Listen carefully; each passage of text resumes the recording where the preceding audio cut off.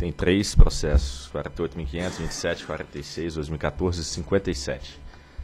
Resultado da audiência pública 23 de 2014, instituída com vistas a colher subsídios e informações adicionais para o aprimoramento da metodologia de revisão tarifária periódica das distribuidoras relativamente aos temas procedimentos gerais, fator X, outras receitas e geração própria. Diretor relator, Dr. Reive Barros, informa que há pedido de sustentação oral.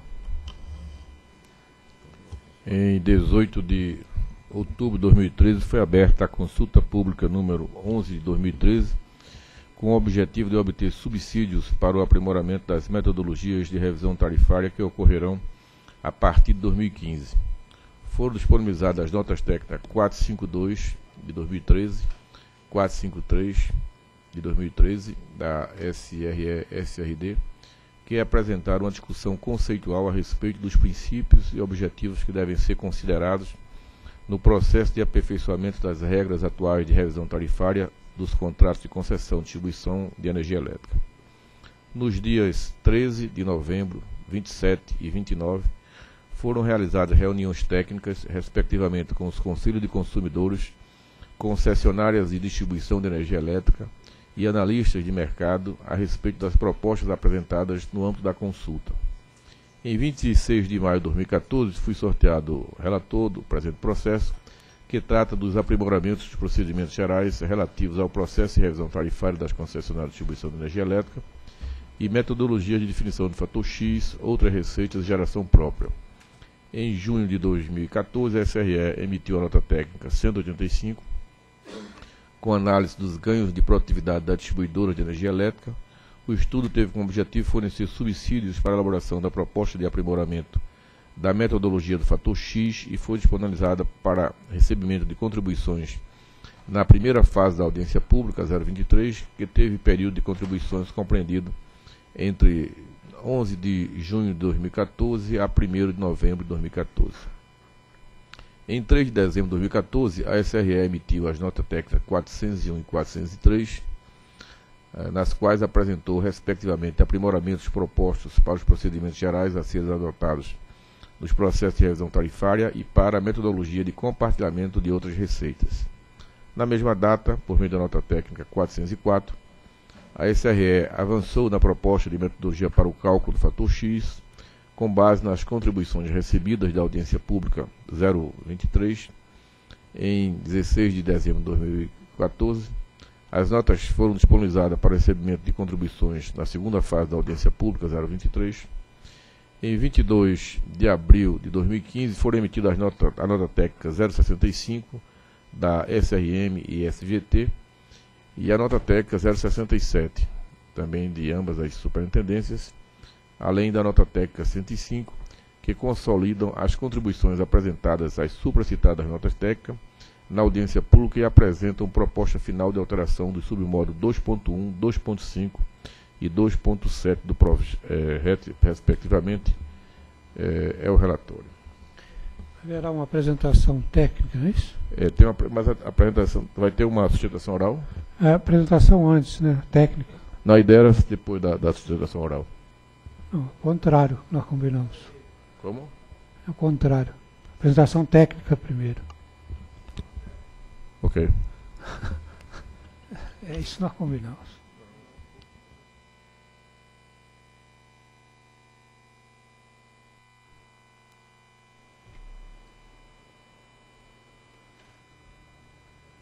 Boa tarde.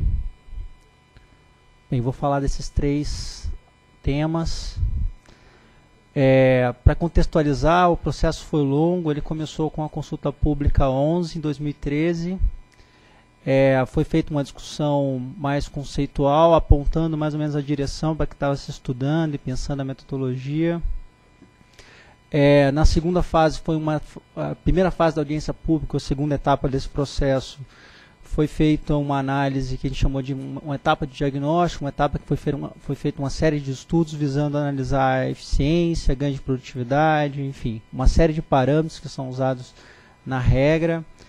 É, e por fim, a última fase, é, a segunda etapa da audiência pública, essa que a gente está concluindo agora, a definição das regras. Né? O, o, como que vai ser, no fim das contas, utilizado esses parâmetros, quais são as equações, enfim. É, então eu vou por, por, por tema. Primeiro tema, procedimentos gerais. Né? O submódulo 2.1 ele descreve as regras gerais de cálculo da receita requerida nas revisões tarifárias das funcionárias de distribuição. Então, o submódulo ele descreve os itens que compõem a parcela B, como ela é formada e qual que é o cálculo que é feito para chegar lá na parcela B no momento da revisão tarifária. É, a gente propôs basicamente a manutenção né, da maioria dos itens, só que alguns pequenos, alguns poucos aperfeiçoamentos. Bem, foram é, diversas contribuições, dezenas de contribuições. A gente tá pro, trouxe aqui para apresentar a análise da, das áreas técnicas em relação a quatro pontos. Remuneração de obrigações especiais, ajuste no mercado do ano teste, remuneração de ativos totalmente depreciados e receita com ultrapassagem de demanda e excedente de reativo. Em, em, relação à remuneração de obrigações especiais, aqui a gente está chamando de remuneração do risco associados às obrigações especiais, foi proposto na audiência pública uma formulação. É, e aí, por que, que foi proposto aquilo? Qual foi a análise que gerou a propor, aquela proposta? Né? Então, aqui tomando uma, até uma, uma contribuição de, de alguns agentes, né? É, a gente pode separar, pode pensar teoricamente separar as áreas em duas, aqui está errado, tá? Uma área você seria, estaria sendo atendido pela remuneração de desculpa, por ativos oriundos de obrigações especiais e uma outra área, os demais ativos, que não, for, não são oriundos de obrigações especiais. O ponto que foi trazido para simplificar bastante o argumento é que o risco de operação, o risco associado a um negócio de distribuição, ela existe nos dois lados. Existe aqui e existe aqui embaixo. Então, o consumidor ele tem que pagar pelo risco associado à operação desse, desses ativos. Você não tem o risco do capital investido, né? você não tem nenhum custo de oportunidade de capital envolvido, mas você tem um custo de oportunidade associado ao risco operacional que não foi pago para o consumidor. É como se a distribuidora, na prática, ela recebeu um ativo e em nenhum momento foi pago por esse risco de operação e foi proposto uma metodologia que a gente achou apropriada né, pela por uma contribuição da UNB, de alguns professores da UNB, do Departamento de Economia, a gente achou adequada. É, eu não vou entrar aqui na formulação, aqui é o resumo dela. Né? Ela, tem, ela leva em consideração a participação dos custos operacionais, o volume de obrigações especiais, enfim. E a gente propôs considerar as obrigações especiais líquidas. É, as, as contribuições foram poucas e basicamente ah, eles, ah, foi apontado que é, na, considerar as obrigações especiais líquidas e esse parâmetro de 0,5 não seria adequado, tendo em vista que o parâmetro de 0,5 já buscava, já busca uma espécie de uma depreciação estimada dos ativos oriundos de obrigações especiais. Esse não é um dado concreto, a gente não consegue identificar nos ativos aqueles que foram financiados ou não por obrigações especiais, então a gente teria que estimar de qualquer maneira. Então é, a gente achou correta a, a, as contribuições, a gente está propondo usar as obrigações especiais brutas. Né? Tiveram outras contribuições, mas a gente achou que essa seria mais adequada, mais alinhada com a proposta feita lá para o NB. Em relação ao mercado dando teste, foi proposto na audiência pública que se considerasse o mercado faturado sem nenhum ajuste nos dois meses anteriores à revisão. É, bem, ao longo da audiência pública foram solicitados diversos ajustes a serem feitos no momento da revisão. É, como, por exemplo, migração de consumidores para a rede básica, o que há algumas contribuições denominadas de eventos futuros, já conhecidos no momento da revisão, é, tais como o surgimento de novas modalidades tarifárias, microgeração e mudanças na regulamentação do processo comercial, de faturamento, alterações na regulamentação que provoquem mudança compulsória na estrutura tarifária e assim vai. Ou seja, existem uma série de eventos que podem prejudicar, podem impactar negativamente o mercado, então é, seria interessante um espaço para você fazer ajustes do mercado no momento da revisão. A gente sugere não acatar o pleito pelas seguintes razões. Primeiro ponto é que o regime de preço teto, e portanto o risco de mercado foi alocado às distribuidoras, definido inclusive em lei. Então, se o risco de mercado ele é das distribuidoras, então é no mínimo incoerente você fazer ajustes no mercado.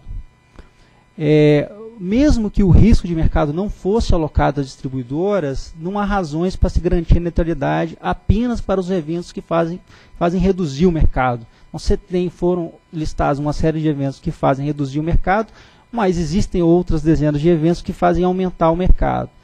Por exemplo, se houver a entrada de um grande consumidor, o efeito deve ser neutralizado. Dizer, ao mesmo, você pode acontecer na revisão, no reajuste, a entrada de um grande consumidor. Então, por que, que a saída de um grande consumidor precisa neutralizar e a entrada não? Né? Mesmo que seja para a rede básica, pode ser uma indústria que fechou, por exemplo. Pode ter uma outra indústria que abriu. É, em 2013, por exemplo, aí a questão das políticas públicas. Nós tivemos uma política pública de redução de tarifa que provavelmente aumenta, fez aumentar o mercado. Quer dizer, isso também tem que ser neutralizado. É uma, uma intervenção direta no mercado, provocado pelo governo, através de uma política pública, que faz aumentar o mercado. Isso também tem que ser neutralizado. Então, se, se fosse para neutralizar o mercado, a gente acha que é, deveria ser levado em consideração todas, todos os eventos que impactam positivo ou negativamente. Mas, como a gente, é, como foi argumentado, a gente sugere não, não fazer qualquer ajuste, porque o regime é de preço teto e o risco é alocado às distribuidoras. Em relação à remuneração de ativos totalmente depreciados, nós tivemos várias contribuições, essa talvez foi, tenha sido a maior discussão nesse tema.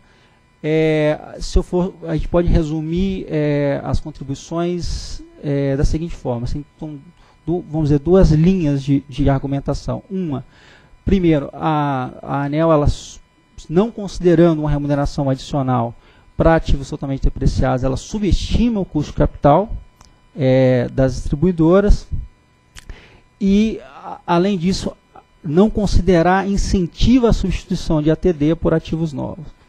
Bem, a gente mantém a nossa, é, nossa posição de não considerar um adicional de remuneração para ATD pelas razões seguir expostas. Eu vou tomar é, emprestado de novo aquela mesma figura né, que foi apresentada por alguns agentes.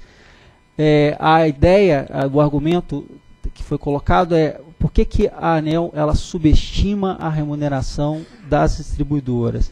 Porque você pode dividir a área de concessão em duas partes. Você tem uma parte que você tem ATD, que não tem depreciação e remuneração, e você tem uma parte que não ATD, né, que, não, que não são é, é, atendidos por ativos totalmente depreciados. Mas o risco de operação ela existe nas duas áreas. Esse é o argumento, que é, é o que se faz, faz alusão lá ao caso das obrigações especiais.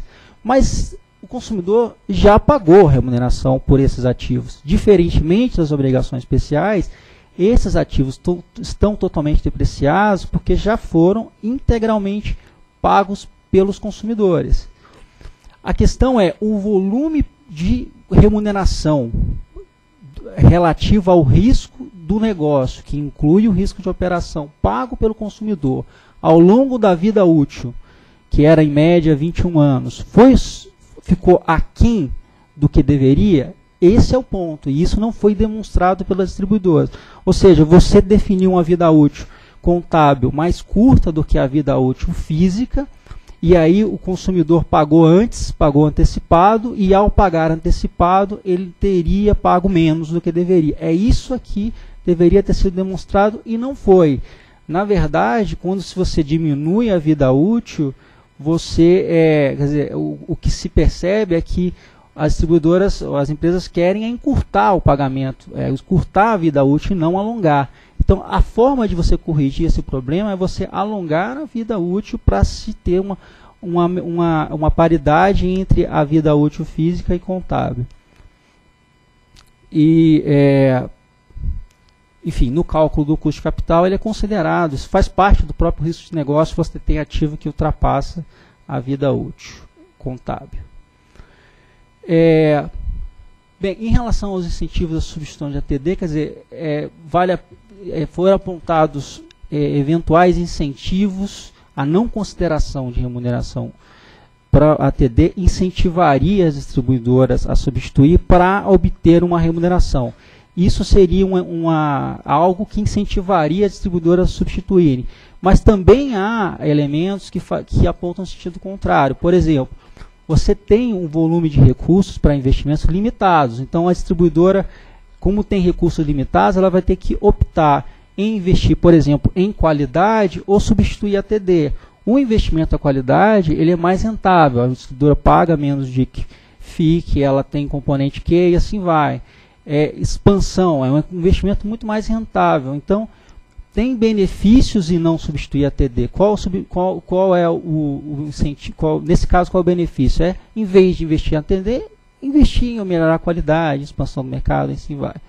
Além disso, os ATDs diminuem o risco de perda econômica em função de falha de equipamentos novos. Isso já foi amplamente discutido, quer dizer, para bens de massa, se você tiver uma falha de equipamentos novos, você pode substituir ativos totalmente depreciados sem perda econômica. Né?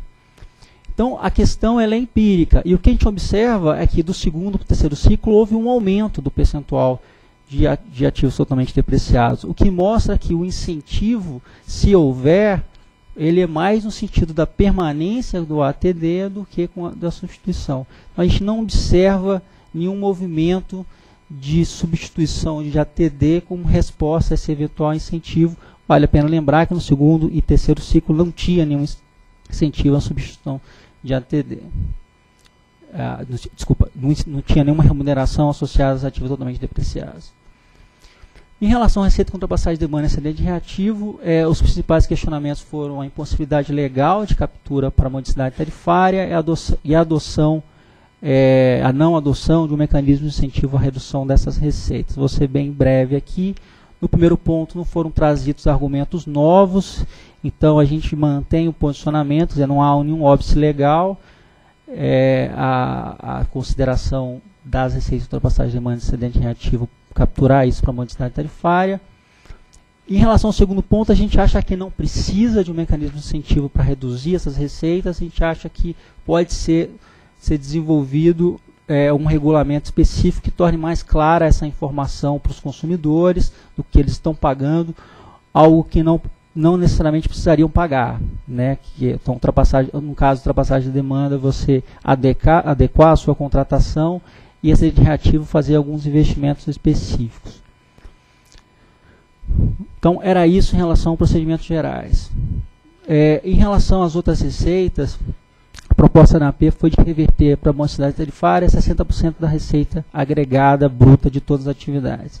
Então, soma-se todas as receitas decorrentes de outras atividades empresariais e você captura 60% dessa receita. Bem, eu vou resumir as contribuições nessas duas. Né? Primeiro, definição do percentual por atividade, então não preciso separar, é, eu, eu, deveria separar o, o, percentual de captura de compartilhamento de infraestrutura, enfim, assim vai. E além disso, considerar um percentual sobre a receita líquida. É, e, desculpa, tem essa terceira questão, que é considerar um percentual de 30% para incentivar novas atividades surgidas, autorizadas pela ANEL. Bem, em relação ao item 1, na medida em que os custos operacionais eles estão sendo considerados em relação a todas as atividades, então a gente acha que é plenamente possível considerar percentual único para todas as atividades. Então, como os custos operacionais de todas as atividades estão lá no submódulo 2.2, então não, vê, não há problema de considerar 60% para todas as atividades. É, essa questão de considerar a receita líquida, aí é, o percentual foi calculado considerando a receita bruta, então não faz sentido você mudar a base de cálculo. A proposta 3 foi acatada, ou seja, é, faz sentido mesmo, Estado, algumas outras atividades está, é, que estão nascendo agora, estão sendo desenvolvidas agora, faz sentido você incentivar para que no futuro o consumidor se beneficie dela. E aqui os percentuais finais. Bem, fator X. Aí lembrando, o fator X ele tem três componentes, né? um componente PD de produtividade, um componente Q de qualidade e um componente T de trajetória de custos operacionais. Esse tema vai ser tratado, do componente T, vai ser tratado na, nos custos operacionais, então a gente vai discutir esses dois pontos aqui. É, em relação ao componente PD, é, nós propomos lá na audiência pública a manutenção da metodologia, a mesma metodologia adotada no terceiro ciclo, e atualização dos parâmetros que acompanham. É, os ganhos médios de produtividade, então em relação aos parâmetros, isso aqui foi, já foi discutido na primeira fase da audiência pública e foi revista ao longo do tempo. Né? Os ganhos médios de produtividade lá, quando abriu a audiência pública, alcançou 1,65 ao ano. É, bem, em relação às principais contribuições sobre o tema, tivemos dezenas de contribuições, a gente vai pontuar três contribuições aqui. Primeiro, a consideração de remuneração de obrigações especiais no histórico. O tema foi acatado, talvez não da forma como alguns imaginavam, mas é porque, como a gente está incluindo na parcela B mais um componente de remuneração, e a gente olha o nosso histórico usando os mesmos critérios de cálculo da parcela B, então a gente, a gente também está adotando esse critério de olhar para trás e, e considerar uma remuneração de obrigações especiais no histórico. Esse tema foi bastante discutido também, tanto no, é, no âmbito da metodologia de fator X como de custos operacionais. Eu já vou adiantar o nosso posicionamento aqui.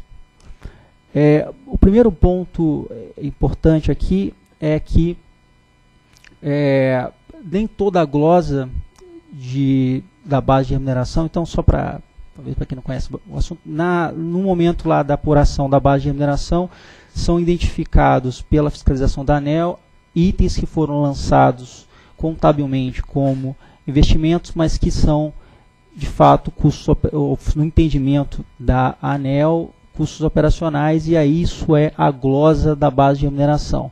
Na verdade, a glosa ela corresponde, é, ela é algo maior do que isso. Então, um, é, um primeiro ponto importante que não foi talvez percebido por algumas contribuições é que nem toda a glosa corresponde à apropriação de custo operacional como investimento. Então, tivemos propostas de ajustes que consideravam toda a glosa. Isso, na nossa opinião, não é adequado. É, um ponto, a gente está sugerindo não fazer nenhum tratamento, seja aqui no fator X ou nos custos operacionais, é porque um ponto que é importante é que os erros de contabilização, que não são necessariamente erros, às vezes são diferentes interpretações da forma de apropriação correta, elas podem ocorrer nos dois sentidos. Ou seja, nada garante que, que algum item que a empresa entendeu que o mais apropriado seria, seria contabilizar como custo operacional, é, ela, é, outra empresa tem entendido diferente, ou seja, não, isso aqui é investimento. E no entendimento da ANEL, eventualmente aquilo até pode ser considerado como investimento. Então, como a fiscalização da base é uma fiscalização sobre o AIS, ela não identifica esse, o, o erro no, no, outro sentido. Ou seja, o custo operacional de algumas empresas podem conter itens que podem ser entendidos como investimentos também. Então, há, a menos que haja algum viés por parte das distribuidoras de contabilizar sempre custo operacional como investimento, o erro ele pode acontecer nos dois sentidos. É, ainda quando é constatado o erro, há uma determinação de recontabilização, de ajustes no cálculo, na, na apropriação.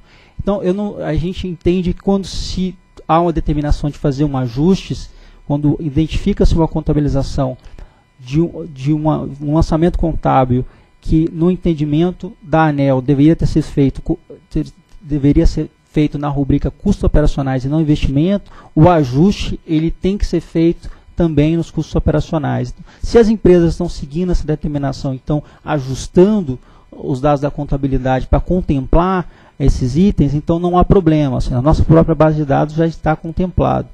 Se esse é o caso, reconhecimento por fora entre aspas, de qualquer custo pode implicar em duplicidade, em você observar duas vezes o mesmo custo. Ou seja, a empresa pode ter contabilizado isso, seguindo a determinação da área de fiscalização da ANEL, e a gente, ao considerar em duplicidade, mais uma vez, considera em duplicidade.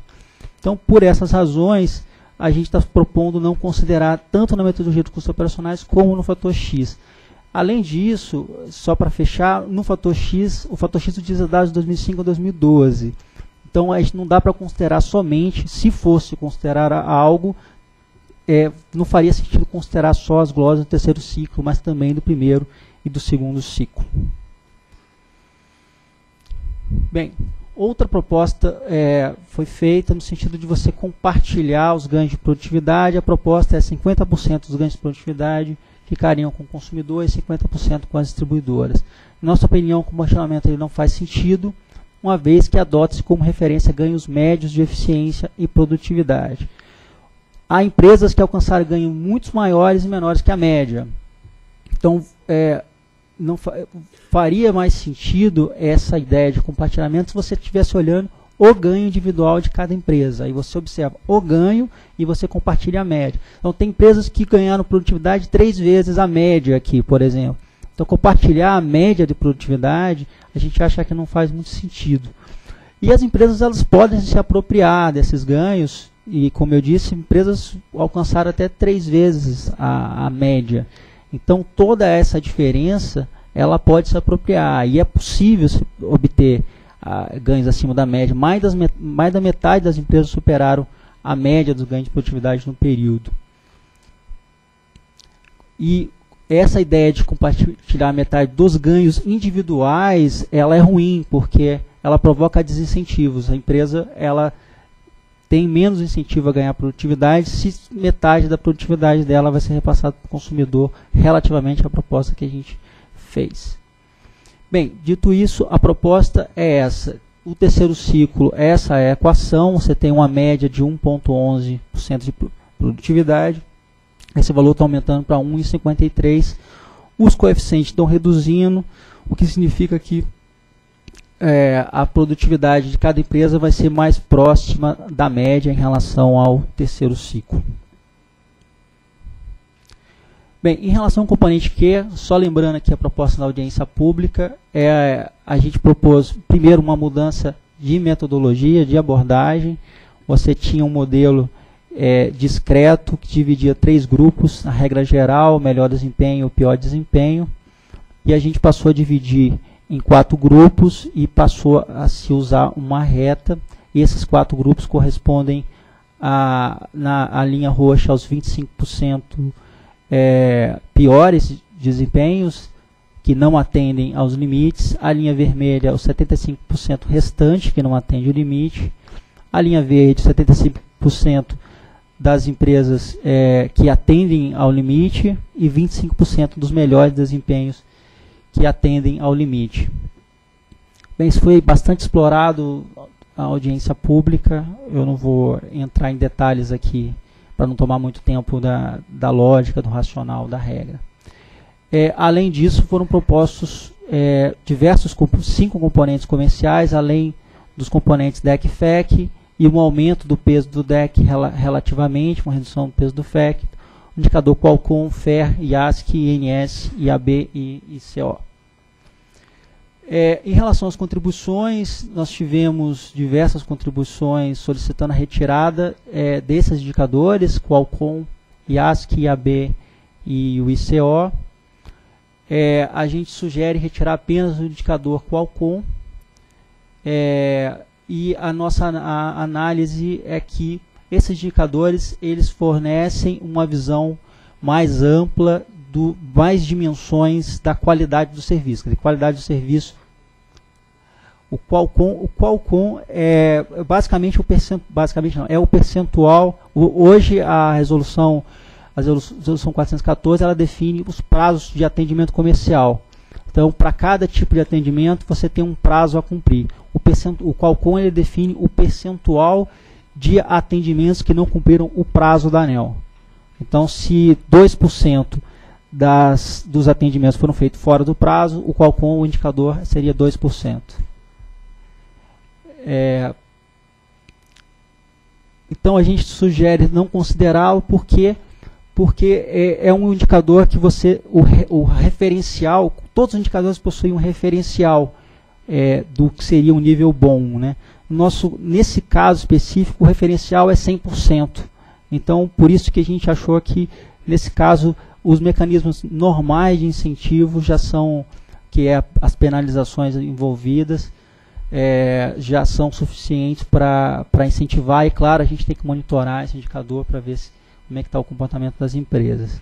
Os demais, eles é, contemplam um, um, um espectro maior é, de, de, dimensões, vamos dizer, da qualidade do serviço, a qualidade do serviço é mais ampla do que apenas os indicadores técnicos, por isso que a gente está propondo manter. É, foi, foi proposto uma consideração gradual dos novos indicadores, a proposta foi acatada, talvez não na forma solicitada pelas algumas contribuições, mas a gente está propondo uma, uma, é, uma mudança gradual de metodologia. Em relação, foi proposto também a alteração dos pesos, indicadores também foi parcialmente acatada. Então, essa é a proposta final. Aqui os indicadores, Qualcomm a gente não está propondo não considerar mais. E, e essa é uma configuração que se espera no final do período de transição. O período de transição está tá descrito aqui, né? Quer dizer, para o ano que vem, para esse ano você usa a regra vigente, porque você tem que dar um tempo para as distribuidoras se adequarem aos novos mecanismos de incentivo. Para o ano que vem, a sugestão é considerar a nova regra, já com uma, uma escadinha aqui. É, e aí você vai aumentando ao longo do tempo o peso dos indicadores, de forma que ao, lá em abril de 2019 você passa a ter aplicação integral da, da regra. Aí talvez só vale a pena um detalhe que as, as as distribuidoras menores que 60 mil unidades consumidoras, elas não têm obrigação de ter centro de teleatendimento, por isso não foi definidos os indicadores de teleatendimento para elas. Era isso. Obrigado. Então, como existem quatro pedidos de sustentação oral, forma que será concedido o prazo de cinco minutos para cada representante. De forma que inicio convidando o Dr. Guilherme Cadioli, representante da Electro Eletricidade Serviços S.A. É, bom dia aos diretores e aos demais presentes. É, é, importante ressaltar aqui alguns avanços importantes que a gente teve é, desde a abertura da segunda fase até a publicação das notas técnicas finais no dia de ontem. Entre elas, nos procedimentos gerais, a gente, a Electro entende importante destacar a remuneração para as obrigações especiais e a retirada do Qualcomm do XQ. É, contudo, a gente ainda acha que existem algumas possibilidades de avanços é, que devem ser propostos aqui. Entre eles, um dos indicadores propostos pela agência que mede o nível de satisfação do consumidor é o IASC, e ele está sendo proposto a entrar no XQ. O que acontece é que isso leva a um problema tradicional na teoria econômica do agente principal. Ou seja, o consumidor vai ser incentivado a avaliar a distribuidora negativamente, porque isso vai refletir numa menor tarifa para ele. É, aqui a gente não está entrando no mérito do resultado disso ou não, o que a gente está tentando defender é que o incentivo regulatório seja o ideal é, e evitar que esses tipos de problema aconteçam. Apesar do XT é, ser dos custos operacionais, ele é um componente do fator X. Então a Electro entende que é, ele é um tema muito importante para ser tratado é, apenas nos custos operacionais. Né?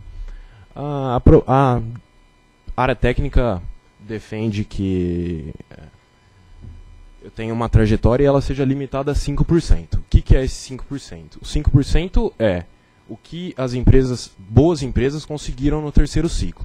Mas o que é definido para essas boas empresas, né? A Electro tirou uma foto do que foi o terceiro ciclo para todas as distribuidoras e a gente vê que apenas metade das distribuidoras reduziram de fato seus custos operacionais no terceiro ciclo. É. E dentro dessa metade, a gente nota que existe realmente uma disparidade muito grande entre o que aconteceu. É, a gente nota que nessa amostra, de só metade das distribuidoras, o desvio padrão é 77% da média. A agência, no passado, já adotou algumas outras medidas de tendências centrais para amostras muito parecidas com essa, é, a saber, o risco país no WOC. A proposta da Electra é que se adote a mediana das boas empresas. A gente entende que isso reflete de maneira melhor a realidade das empresas no terceiro ciclo e reflete de maneira melhor o que vai acontecer no quarto ciclo. É, não é razoável supor que as distribuidoras consigam né, reduzir seus custos operacionais em 5% todo ano, desde o terceiro ciclo até o quarto. É, outra proposta que a Electro apontou na sua contribuição e a gente acha razoável demonstrar aqui novamente é que a maneira como a aplicação dos custos operacionais é feita, para aquelas empresas mais eficientes que vão ter aí a chegada ampliada, o limite de trajetória de redução dos custos operacionais não é respeitado. É. O que de fato acontece é que empresas mais eficientes terão uma, uma trajetória mais agressiva durante todo o quarto ciclo. É, e o que a gente propõe aqui é que exista um tratamento isonômico entre as distribuidoras. O que acontece é que eu penalizo a empresa que foi eficiente no terceiro ciclo e beneficio empresas que não foram tão eficientes no, ter no terceiro ciclo. A gente acha que esse não é o incentivo razoável a ser dado daí para frente. É, isso aqui é outra mudança importante que não foi discutida em nenhum momento do longo período de discussão, aí começando na CP11 lá em 2013, que é a aplicação do fator XT no ano de revisão das distribuidoras. É. Isso não apareceu em nenhum momento na CP11, nem na primeira fase da P23 e nem na segunda fase da P23. A Electro entende que uma mudança tão drástica de regra deve ser discutida no âmbito de uma audiência pública com clareza e transparência. É, o nosso argumento aqui é que isso não foi discutido. É, e a proposta que a gente tem levar para a diretoria e para a área técnica é que isso seja discutido numa nova audiência pública que permita é, uma percepção dos agentes do setor e que permita um estudo mais aprofundado do tema. É, isso não aconteceu em nenhum momento. É, muito obrigado pela atenção de Vossa Senhorias. Convido o Dr. Donato da Silva Filho, representante da EDP Energias do Brasil.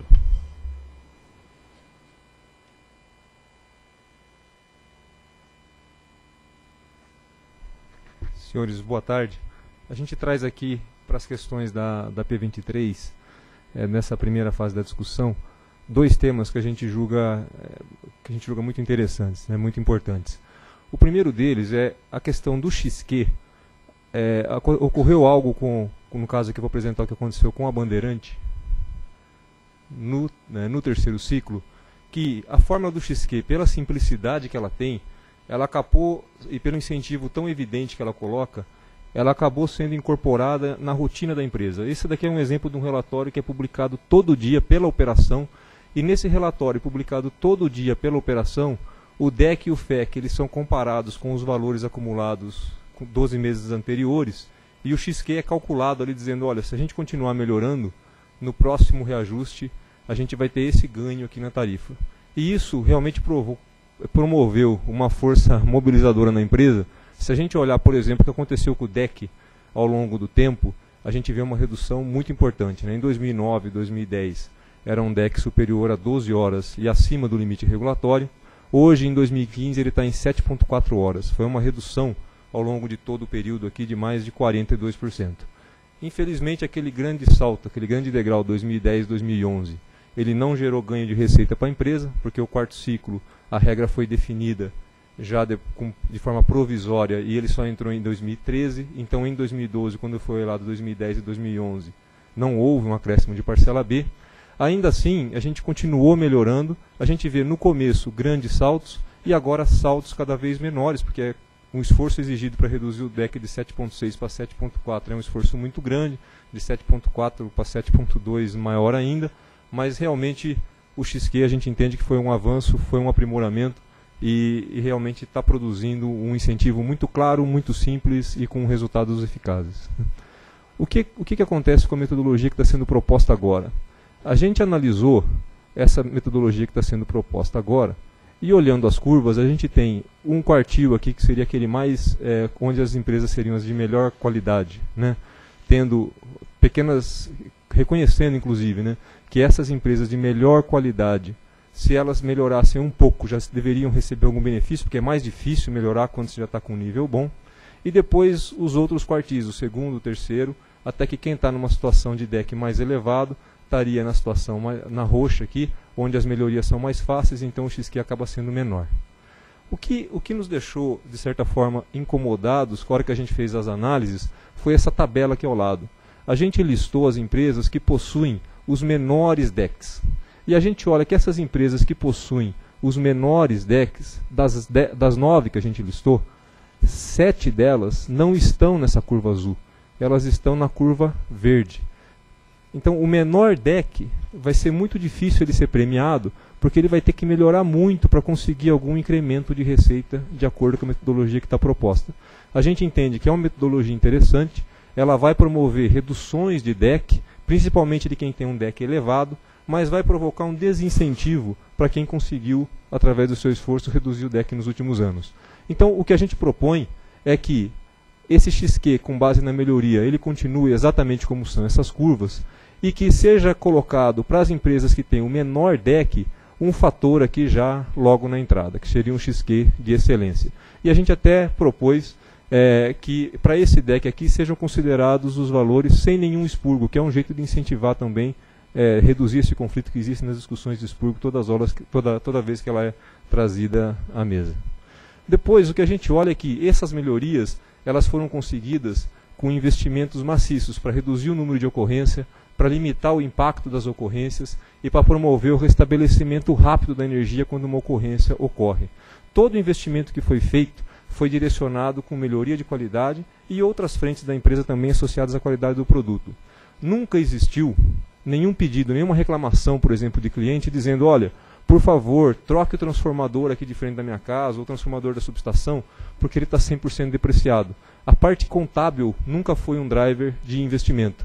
E é por isso que a gente defende que, para os ativos 100% depreciados, exista um, um, uma tarifa, um, uma cobertura tarifária para cobrir o risco de operar esse ativo. Quando a gente fala de vida útil de um ativo, a vida útil é sempre a vida média. Os ativos que têm uma vida média de 20 anos, daquele tipo de ativo, alguns vão morrer antes. Esses que vão morrer antes vão determinar uma perda eh, de valor, porque você vai ter que dar baixa entre o valor residual do valor residual daquele ativo. Mas os ativos que vivem mais, e a distribuidora deveria ser incentivada a manter esse ativo vivendo mais, eles não têm nenhuma cobertura tarifária do risco de operação. A gente propôs e continua defendendo uma equação muito semelhante àquela que foi implantada para as obrigações especiais, que é para esses ativos 100% depreciados, ser aplicado somente o beta, que é o risco do negócio. Então, acho que essa é a nossa principal contribuição. A, a, prestação do serviço com ativos totalmente depreciados deve ter uma cobertura tarifária por risco de operação e o XQ deve ser alterado de forma a recompensar aquelas empresas que têm o menor DEC, que têm o menor FEC e que já prestam um serviço de qualidade diferenciada. Muito obrigado. Posso chamar o doutor Marco Delgado diretor da Abrad.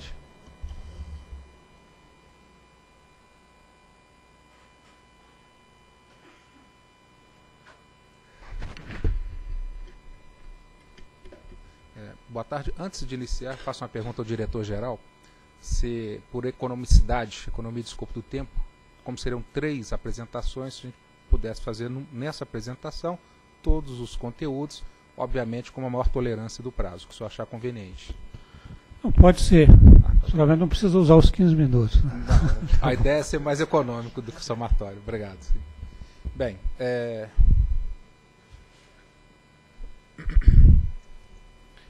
Então, aqui uma, uma, um posicionamento inicial que nós verificamos, como já mencionado por outros agentes aqui, nós tivemos alguns avanços, não tivemos parciais.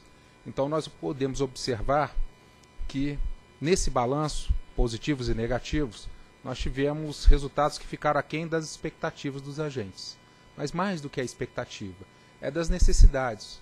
Um ambiente, uma oportunidade para que a gente pudesse dinamizar aí os efeitos de investimento, melhoria da qualidade para o segmento de distribuição, utilizando esse novo ciclo. E aí nós vamos utilizar esse espaço para tentar trazer alguns pontos adicionais na oportunidade e na crença de que esse instrumento aqui é útil ao processo decisório da agência. Bem,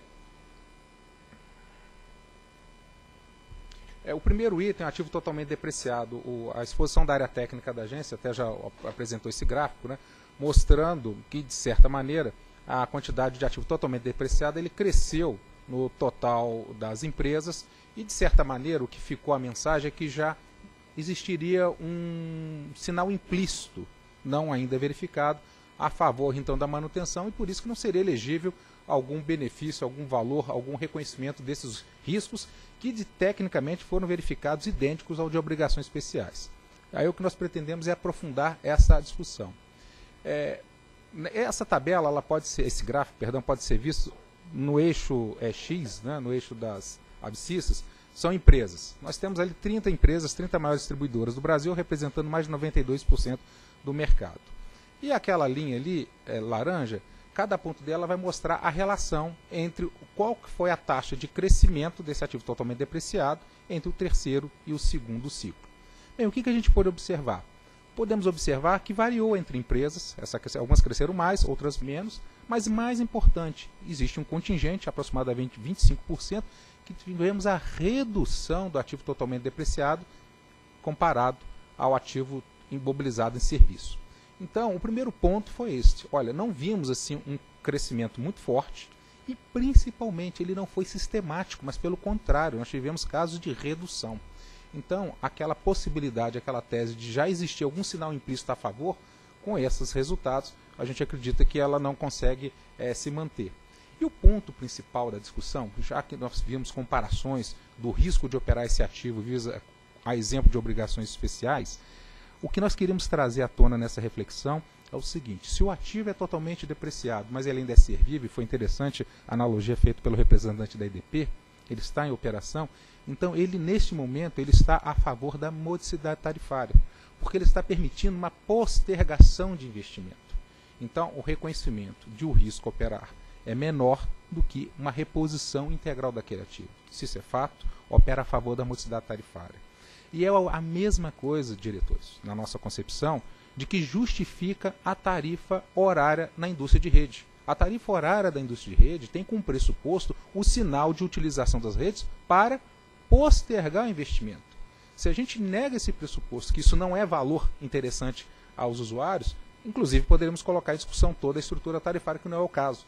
Porque, de fato, postergar investimento é a benefício da modicidade tarifária e por isso que a reconhec o reconhecimento desse risco numa parcela na tarifa vem a favor da modicidade tarifária. Um outro ponto interessante aqui, destacar, é que foi dito na apresentação que não haveria uma perda econômica, o fato de dar baixa num ativo existente, pelo fato de ter ativo totalmente depreciado. A gente apresentou na contribuição, não vai ser exaustivo, mas a gente mostra o seguinte, que para esse primeiro ativo pode até ser que sim, porque eu tinha um ativo totalmente depreciado de bens de massa. Mas eu tive que repor um ativo. E essa reposição do ativo só terá rebatimento tarifário lá no próximo ciclo. Entra depreciado. Então apresentamos na contribuição que existe perda econômica sim. Não é só um colchão a benefício das distribuidoras. Então esse ponto para fortalecer a tese de que é legítimo na nossa concepção, uma, um reconhecimento do risco pela operação de ativos totalmente depreciados.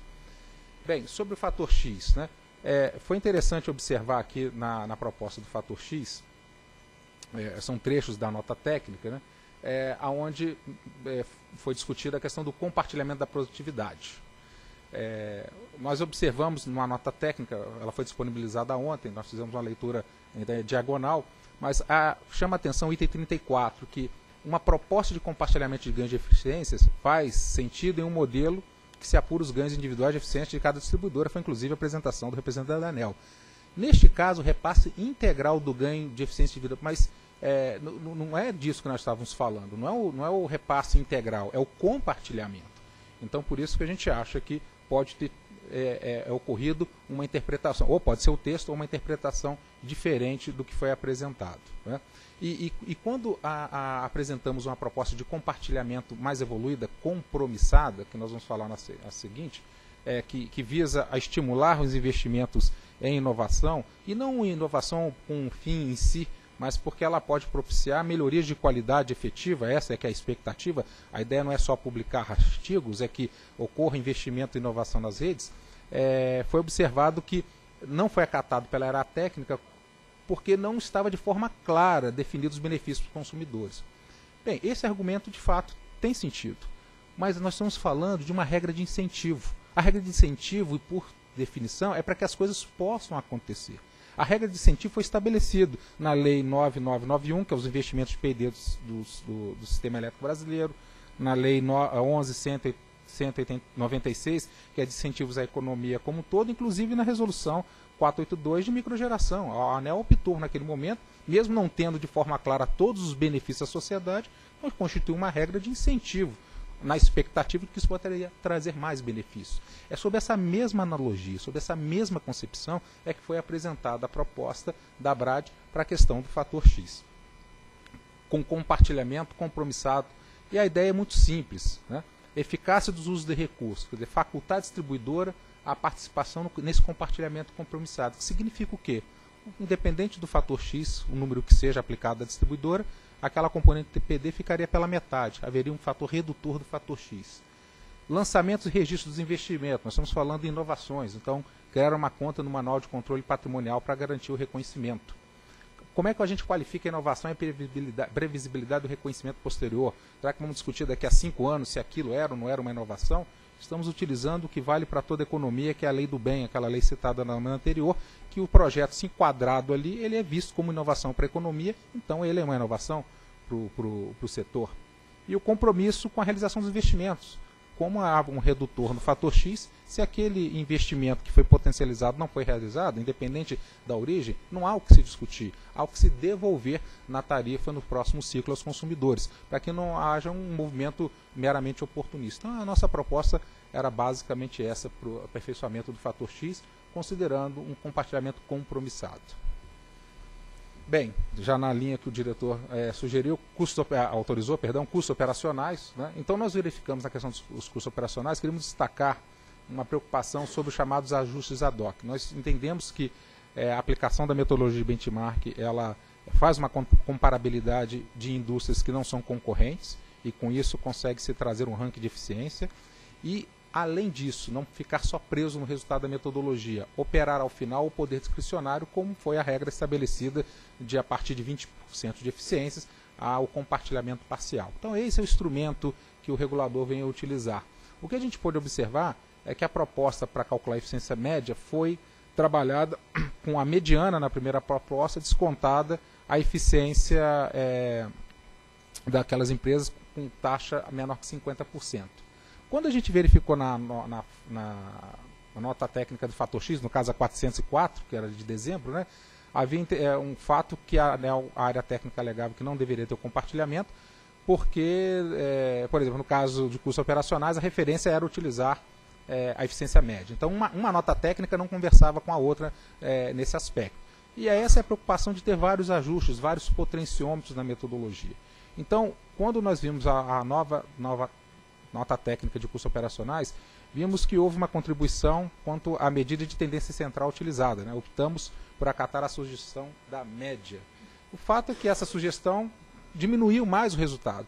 Então ficamos sem saber claramente por que optamos por essa e por que não usar a mediana, que foi a proposta original, onde se discutiria uma eficiência de 70% e não de 76%. Nossa contribuição era use, a mediana conforme a, a proposta original. Na questão de, de receitas recuperáveis, a proposta da agência é de olhar um período de observação um pouco mais longo do que os períodos anteriores. Aqui vale destacar que nos últimos anos a parcela B ela tem sido, que a parcela distribuída tem sido sistematicamente reduzida por diversos fatores, seja pelos efeitos de revisão tarifária, seja também pelo crescimento dos custos da parcela A, principalmente, e de tributos. O fato é que a inadimplência ou a receita irrecuperável, o efeito dela, ela se potencializa em cima dos resultados das distribuidoras pela redução dessa sua parcela. E aí a questão que se fala, que se traz é o seguinte: os levantamentos daqueles períodos muito longos trazem uma dúvida sobre a qualidade daquelas informações. Algumas informações foram é, apresentadas não como uma recuperação, mas como uma baixa.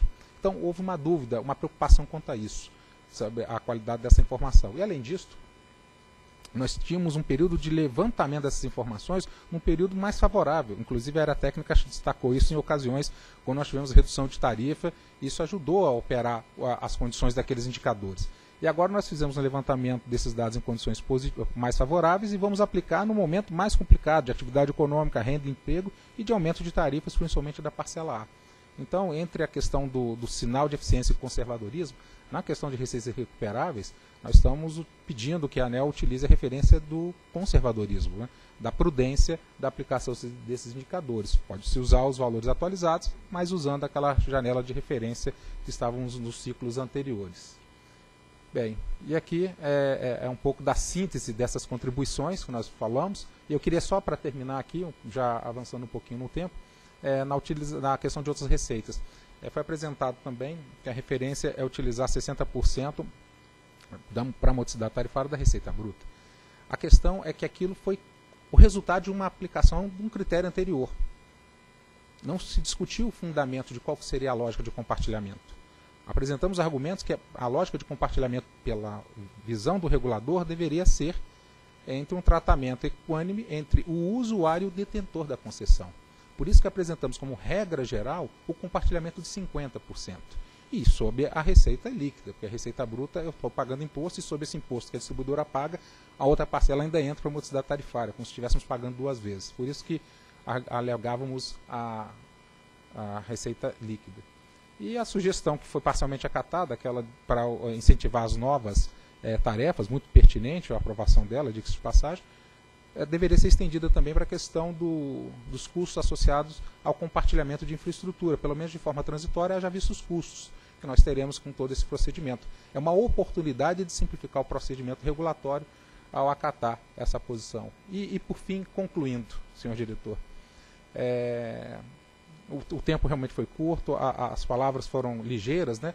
mas a gente ainda acredita, a confiança, no, respeitando o trabalho técnico da, da área, o apreço que nós temos pelos profissionais, pela competência da área técnica, mas sabendo que cabe ao discernimento dos senhores diretores a oportunidade de revisitar, reorientar alguma das sugestões apresentadas para que a gente possa ter um ciclo regulatório virtuoso pela melhoria acelerada da qualidade. Muito obrigado pela atenção. Tá, e por fim, convido o Dr. André Luiz Gomes da Silva, representante da Eletropaulo.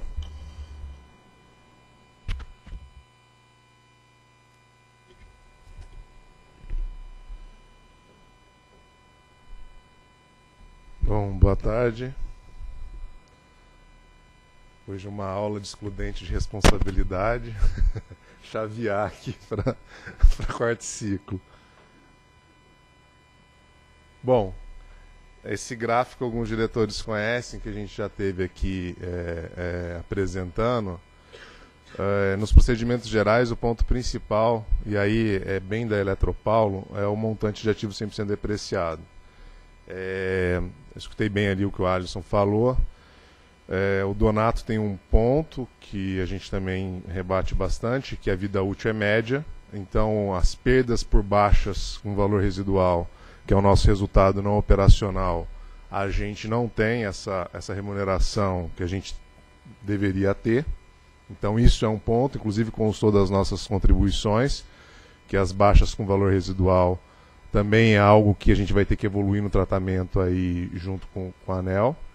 Mas o ponto, eu acho que é, é, fica claro aqui com o gráfico, né? a evolução do 100% depreciado é, em termos de ativo imobilizado da companhia. Então hoje a gente está falando em 102% da base líquida com ativo 100% depreciado. Então é um montante muito, muito alto, é um montante que, que imputa um risco bastante grande. E a gente está falando, no caso da Eletropau, de uma concessão madura, universalizada, crescimento de mercado comportado. Então não tem muita, muito significado ficar você trocando ativo a toda hora. E aí, a gente coloca aqui, um dos exemplos que a ANEL coloca, é a questão do bem de massa, né? E ele não é totalmente gerenciado. Aqui no exemplo, você vê dois tipos de tráfego de distribuição, que são bens de massa. Você tem uma baixa de 300 trafos por ano e mil ficam totalmente depreciados. Então não tem como a gente correr atrás desses, desses trafos. A, a, a história é essa, retratada aqui atrás. É um crescimento que não é uma questão de gestão da companhia. É uma questão dos ativos físicos que estão prestando mesmo o serviço é, de distribuição. Então a gente registra aqui que esse item de 100% depreciado, no nosso entendimento, deveria ser tratado. E aí o que a gente coloca é o seguinte: se não for tratado na metodologia, que pelo que saiu ontem nas notas técnicas, a gente já tem uma noção clara, e não acho que não vai ser aqui que nós vamos virar o, o, a questão do 100% depreciado, que se deixe pelo menos um espaço nas revisões específicas para se avaliar os casos é, específicos. Eu acho que a Eletropaulo tem um caso específico que poderia ser melhor detalhado na revisão tarifária específica dela e avaliado pela diretoria. Então, se, se puder prever, pelo menos procedimentos gerais, que o ativo 100% depreciado, sem nenhum compromisso, poderá sim ser objeto de avaliação do diretor relator e submissão à diretoria colegiada, eu acho que já é um ganho enorme em a gente demonstrar lá no processo específico de cada companhia é, o, o, tamanho e o, o problema que está se apresentando para as concessionárias. Então, é esse o, pleito. E aí eu vou falar de glosa, porque o Alisson falou de glosa aqui e não vou esperar o custo operacional. A questão da glosa, o Alisson pontuou bem os pontos da glosa, mas vamos lá. É, a identificação das glosas como despesa operacional é simples. Né? A gente tem isso nos relatórios de fiscalização. Isso não é, é não é problema e a gente acaba generalizando para o custo operacional porque as maiores glosas estão nos custos adicionais. E as maiores glosas são por conta de interpretação de OPEX no CAPEX. Então, por isso que acaba, de certa forma, todo mundo generalizando um pouco o tema, mas de fato ele é geral mesmo. A glosa está ali, está presente é, nesses custos. Né? Quanto à questão da determinação da fiscalização, a forma de você fazer a determinação não necessariamente é você reabrir no balanço e, e recontabilizando despesa operacional, que não faz nem muito sentido, até porque as coisas são interpretativas, são regulatórias. Então o que você faz é um ajuste que a gente tem que fazer para carregar a base é, na contabilidade regulatória, se ajusta a conta patrimônio líquido, a diferença que dá da glosa. Então, não é que não estejam sendo feitos ajustes. O ponto é a forma como se faz o ajuste a forma como a ANEL permite que se faça o ajuste. Então a gente acha que glosa tem que evoluir é, pelo sinal de você fazer a consideração correta dos dados das concessionárias. A gente, a gente entende que, que isso é um ponto que tem que evoluir. E temos ferramentas. É claro, a, a, essa altura pode ser que a gente não conseguiu ainda demonstrar ou a própria ANEL buscar é, no, os meios de demonstrar isso. Mas é algo que tem que ficar no radar nosso e, e que acaba impactando negativamente é, os benchmarks de custos operacionais. Eu não falo muito dele no X, não. Meu problema com Gloss é lá no custo operacional mais do que com, com o fator X. Então eram essas considerações aqui no, nos procedimentos gerais. Procuradoria. Bom, o caso aqui é de um fechamento de AP que está discutindo o aprimoramento de metodologia de revisão tarifária.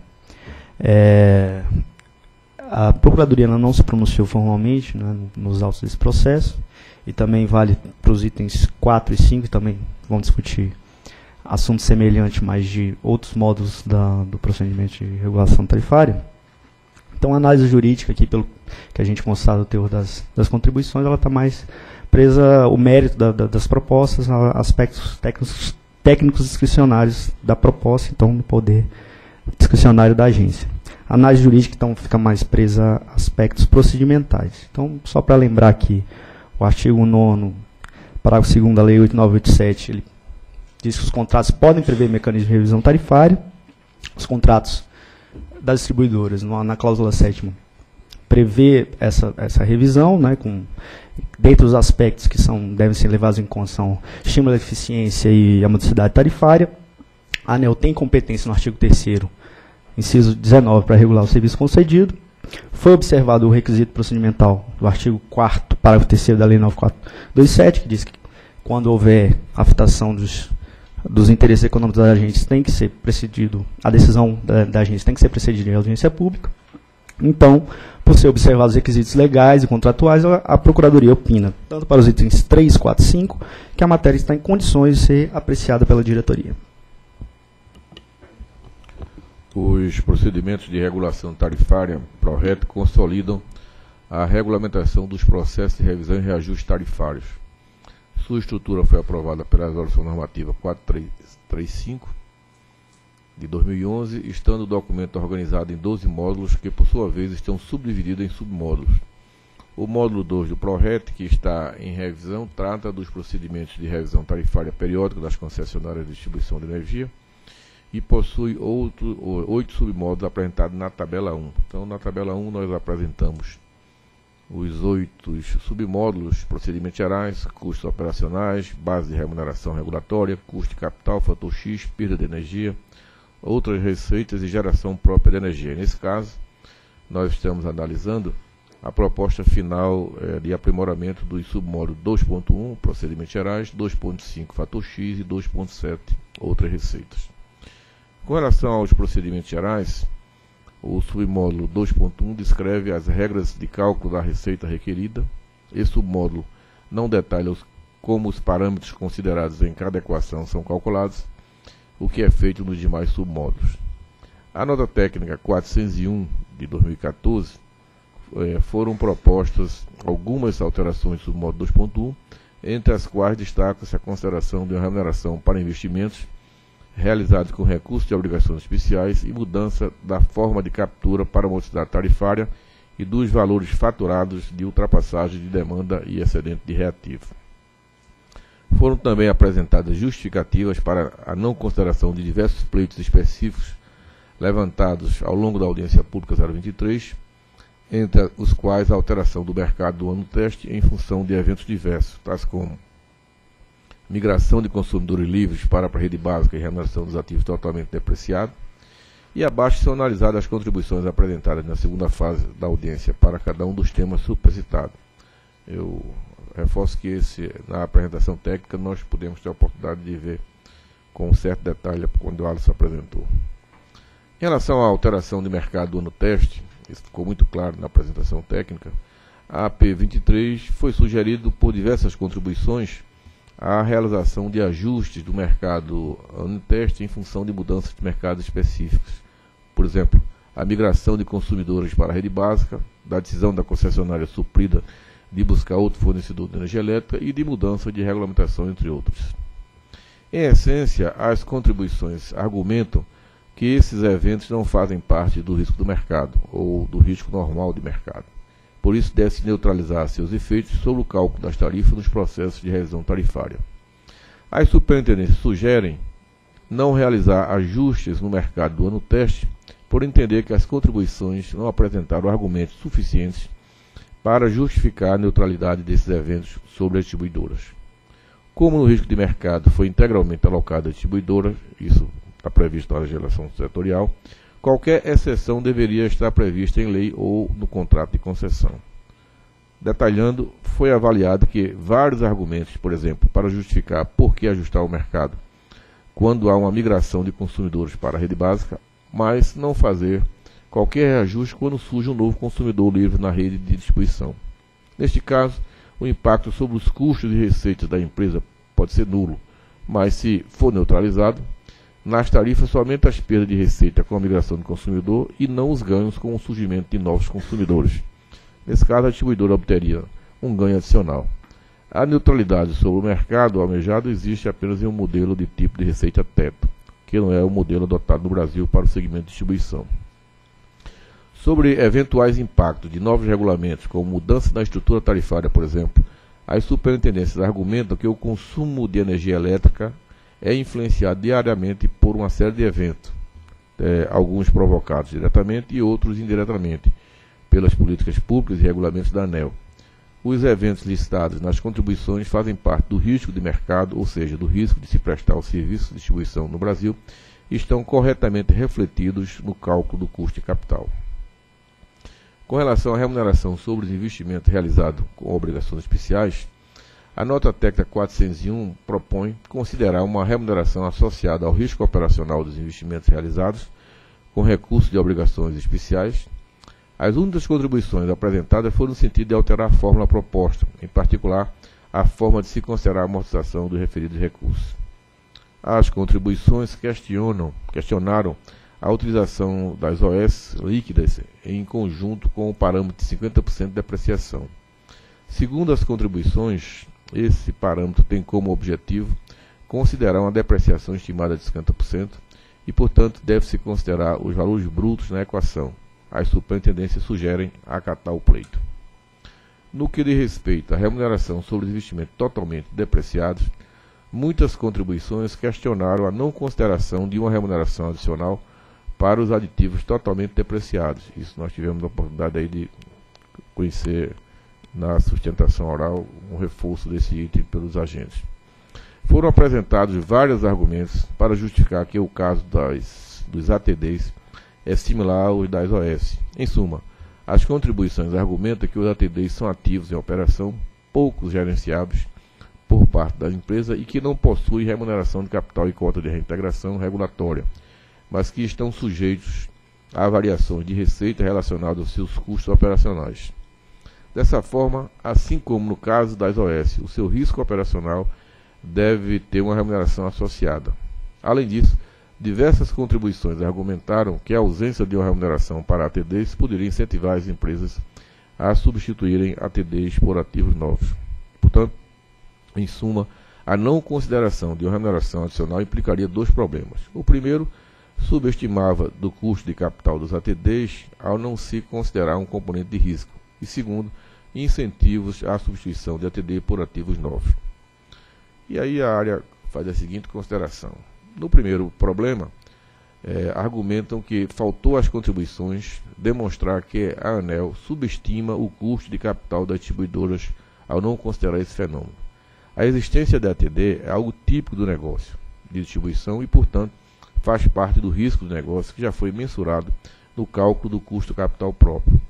Como foi tomado o negócio de distribuição americano como referência, isso para evidenciar que houve subestimativa da taxa de retorno por parte da ANEL, é necessário demonstrar que o percentual de ATDs na amostra de distribuidores americana, considerado no cálculo beta, é diferente do valor observado no setor de distribuição brasileiro.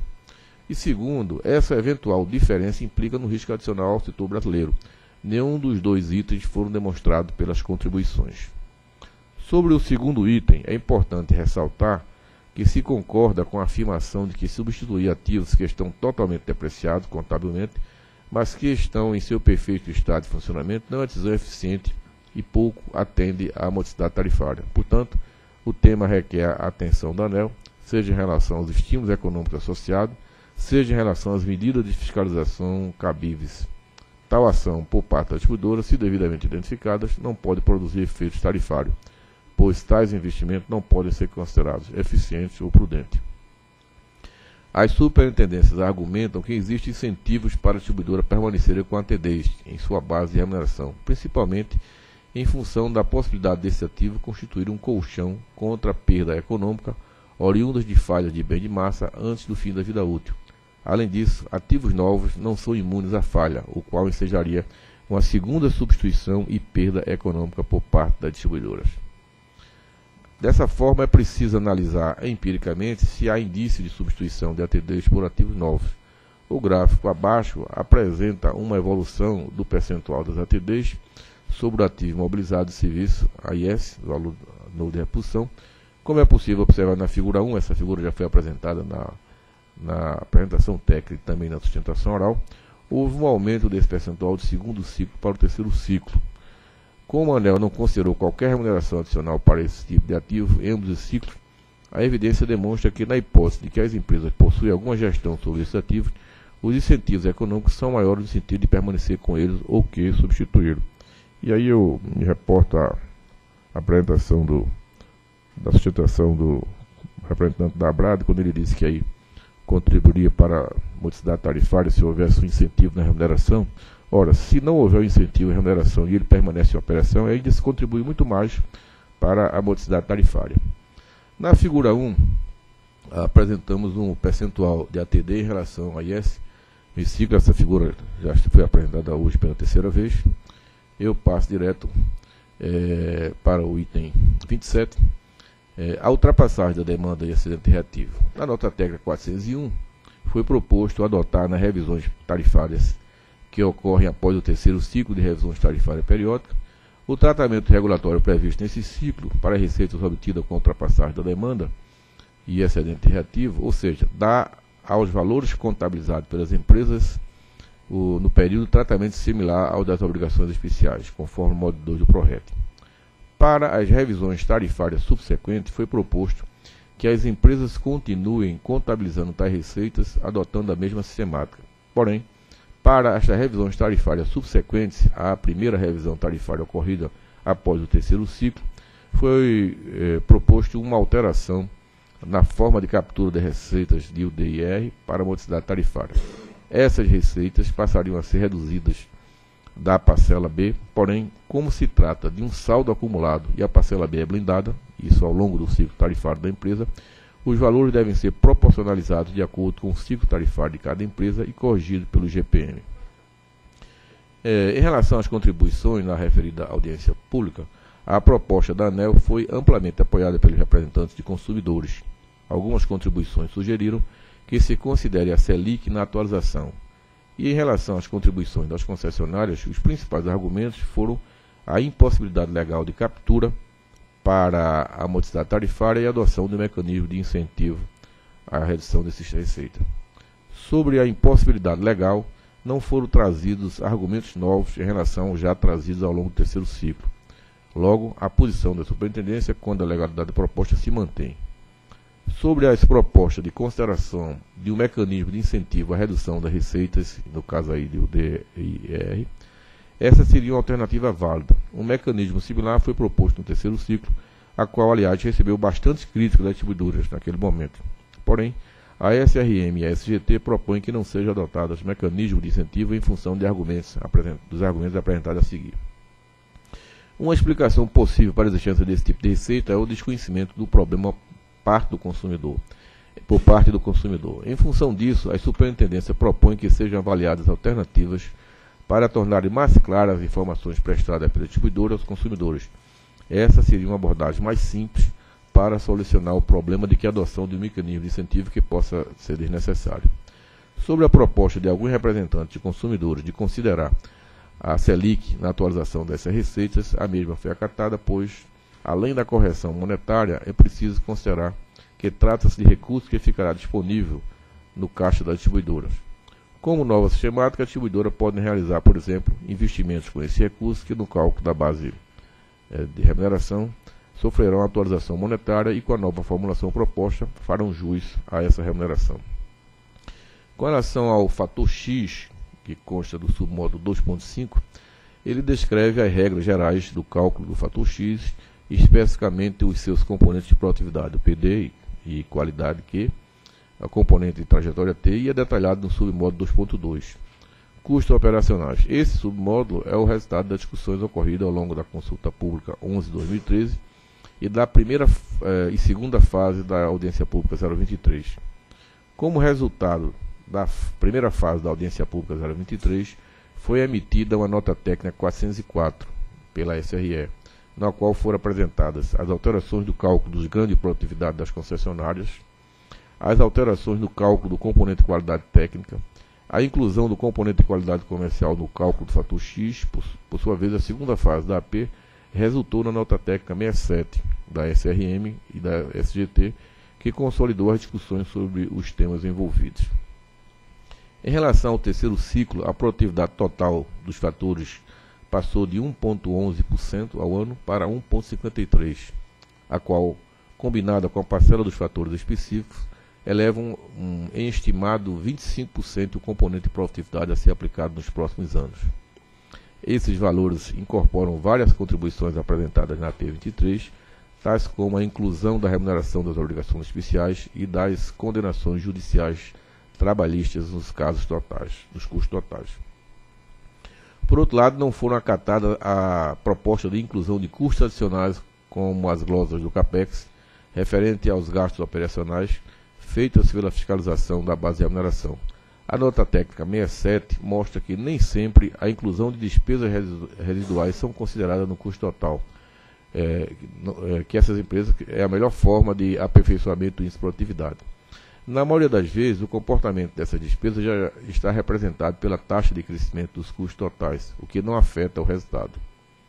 No caso específico das glosas do CAPEX, a inclusão dos custos demandaria um esforço de identificar os valores para todas as concessionárias em todas as revisões realizadas, o que é operacionalmente inviável, além da necessidade inevitável de inferir quando foram realizadas as despesas de OPEX ao longo dos anos. E no final das contas, não há garantia de obtenção de indicador mais consistente nem significativamente diferente do atual. Tampouco foi acatada a contribuição de, para compartilhamento do ganho de produtividade. As superintendências afirmam que essa proposta não é aderente ao atual modelo adotado pela ANEL, que consiste na comparação da produtividade de cada distribuidora com a mediana do segmento.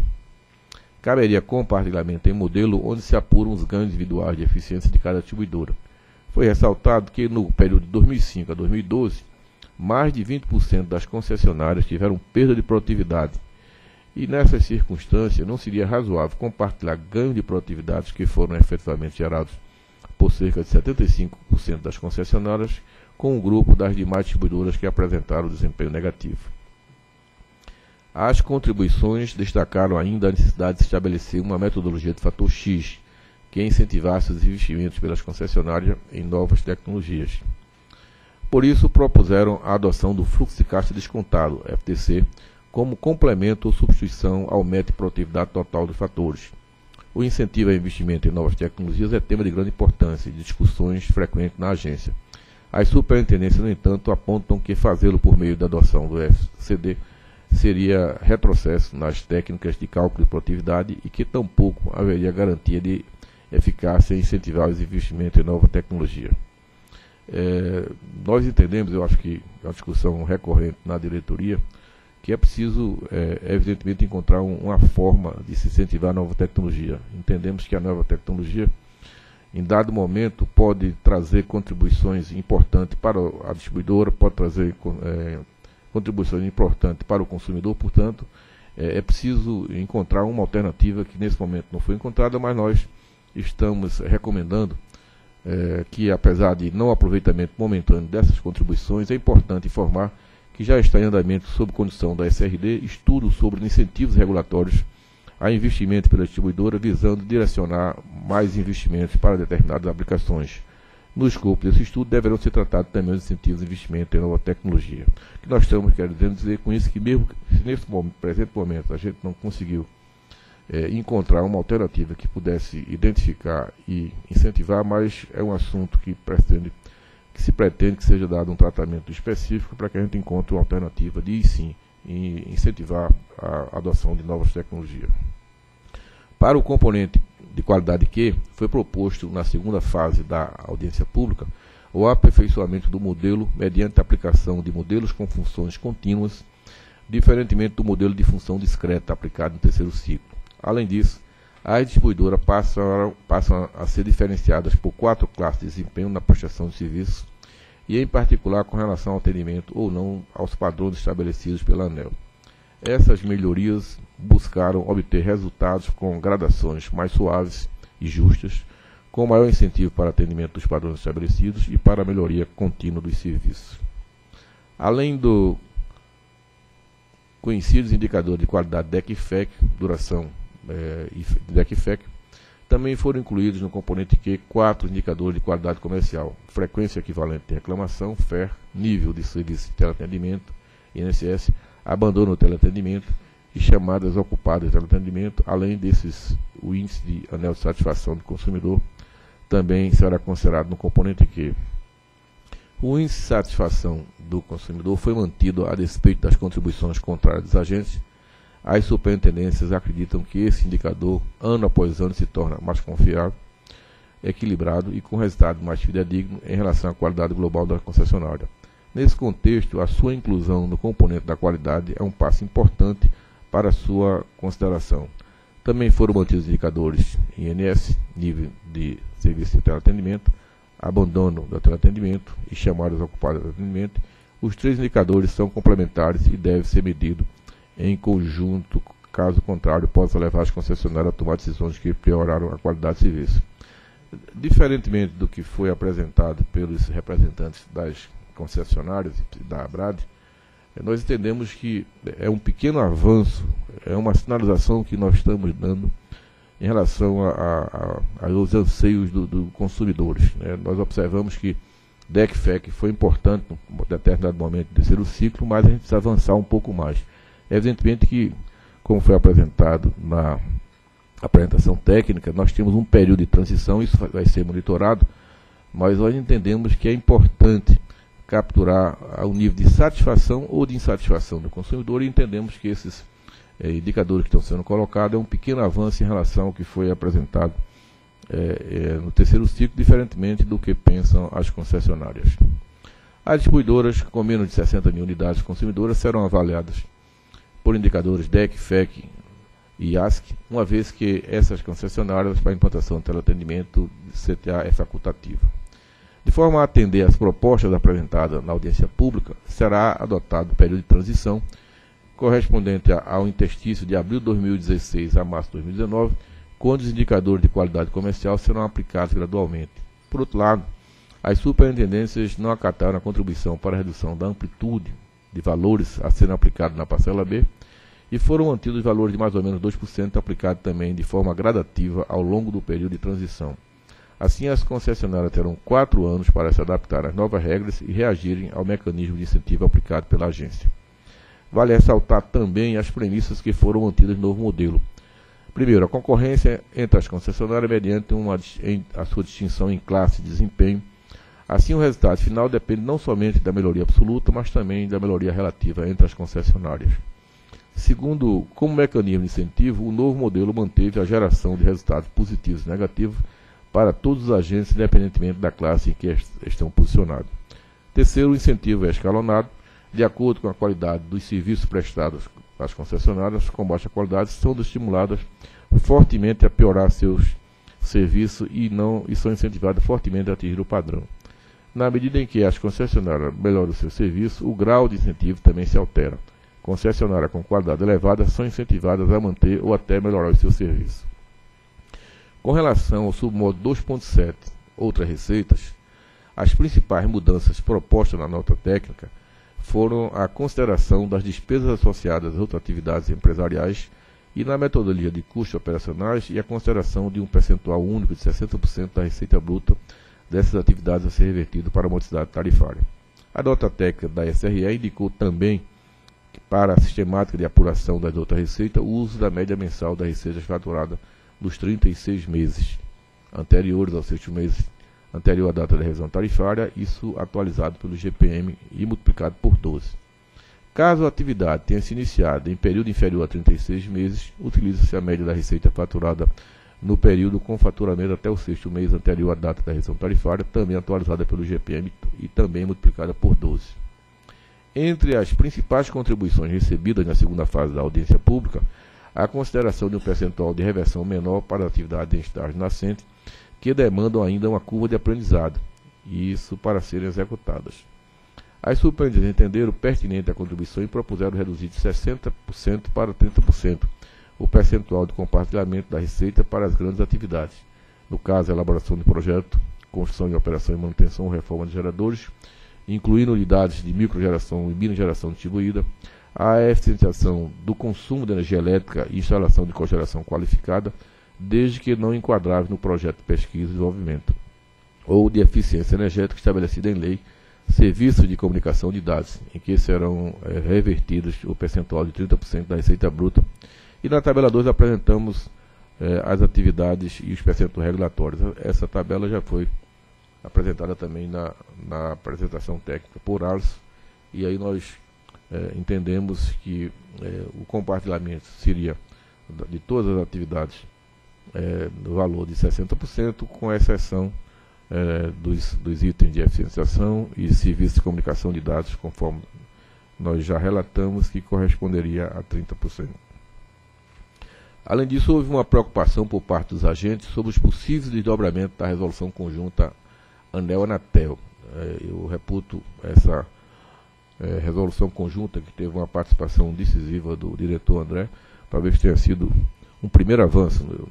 Conseguiu-se uma série de, de avanços, ainda acho que ainda tem, deixa muito a desejar, principalmente com o uso desordenado é, da utilização do, das áreas de poste, e aí a distribuidora tem, de certa forma, uma dificuldade muito grande na avaliação prévia dos projetos e até identificar se é possível ou não a instalação. Mas acho que foi um grande avanço, principalmente com relação à definição da, das receitas. No entendimento da superintendência, a preocupação é pertinente e por essa razão foi proposto considerar os valores faturados no período de 12 meses para distribuidoras com revisão de, em 2015 e 2016, de 24 meses para a distribuidora com revisão de, em 2017 e 36 meses para aquelas com revisão após 2017. Dessa forma, o período para apuração da receita faturada deve ser.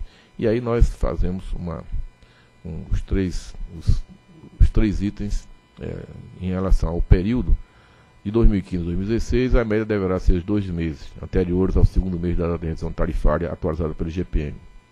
Também até a data multiplicada por 12.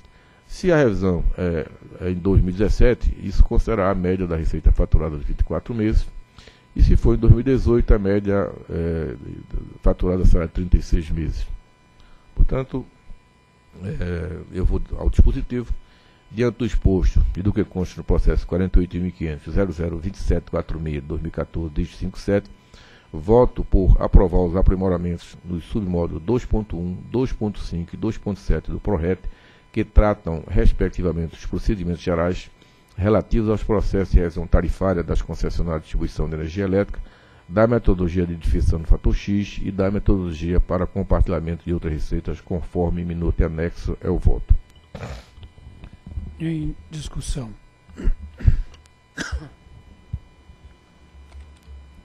Bem, aqui eu gostaria de comentar três pontos. Né? Um que todos eles o doutor Reive já passou por, por eles no, no seu voto.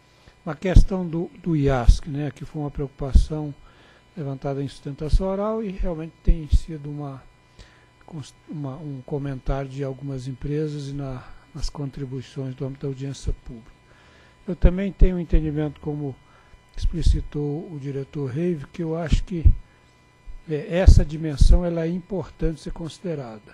E certamente ela não é numa proporção que vai distorcer tarifa, é um percentual muito pequeno naquela o XQ já não é assim tão impactante, né? E o percentual que ela vai impactar dentro do XQ é muito pequeno, a gente teve esse cuidado. Achamos até que faz sentido não colocar um peso exagerado para esse para esse para o IASC, né? Mas eu acho que assim é o único que de alguma maneira tem a dimensão da percepção do consumidor, ainda que possa de alguma maneira fazer aquela distorcer como foi colocado, mas eu acho que até em respeito ao consumidor é uma dimensão importante a ser considerada. Eu particularmente defendo, portanto, que o IASC seja considerado com esse cuidado de não colocar um peso preponderante que está sendo observado. Outra questão diz respeito aos ativos 100% depreciados. Eu acho importante ressaltar que esse realmente é um item que tem estado presente em todos os ciclos que a gente discute a questão da metodologia e realmente a questão da regulação do procedimento de revisão tarifária, em alguma medida, são escolhas. E a gente faz uma análise e uma discussão exaustiva como aconteceu. E eu acho que a questão dos ativos 100% depreciados, que eu tenho sensibilidade para o tema, mas na minha compreensão, e parece que é a visão do relator e da, da área técnica é que não há convencimento que precisa é, da forma de tratar isso. Porque distorção não é, não há, erro não há. Porque se o ativo está 100% depreciado, não há o que falar em remunerar ou depreciar algo que já foi, como o nome sugere, 100% reintegrado via tarifa e não tem mais base para remunerar. Poderia ter a dimensão que se coloca de que é o sinal de que talvez ele mereça um tratamento diferenciados do ponto de vista da operação e manutenção, por ser um ativo que já está com a sua vida útil econômica, pelo menos média, em corrida. Mas eu acho que não conseguimos chegar numa metodologia que nos dá conforto para reconhecer alguma coisa além. Volto a dizer, não está faltando reconhecimento, porque não tem, reconhece a operação manutenção normal, não há o que remunerar e nem depreciar, porque está 100% depreciado, então não acho que haja uma distorção. Talvez haja espaço para evoluir no que eles pleiteiam, de dar um sinal econômico que desincentiva a troca de um ativo é, 100% depreciado. Portanto, eu acho que é um assunto que pode, podemos e devemos seguir fazendo as nossas reflexões para ver o que cabe aperfeiçoar. Mas nessa metodologia que estamos aprovando, não conseguimos chegar nesse convencimento.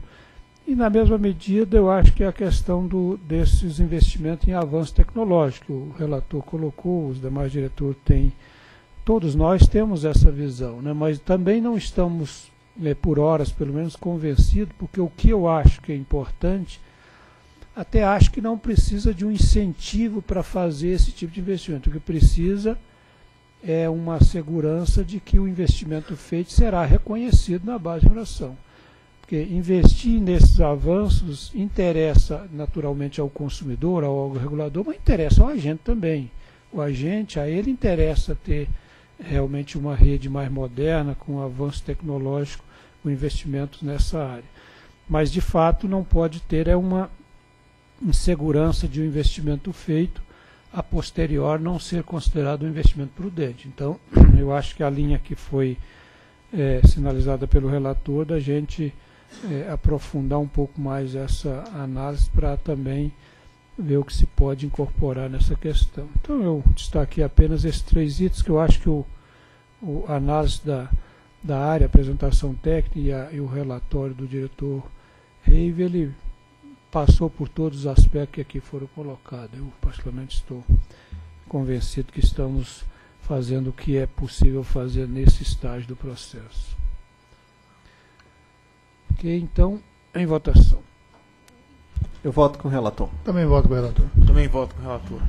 Voto também com o relator e proclamo que a diretoria decidiu por aprovar os aprimoramentos dos submódulos 2.1, 2.5 e 2.7 do PRORET, que tratam, respectivamente, dos procedimentos gerais relativos aos processos de revisão tarifária das concessionárias de distribuição de energia elétrica, da metodologia de definição do fator X e da metodologia para compartilhamento de outras receitas conforme minuta. Próximo item.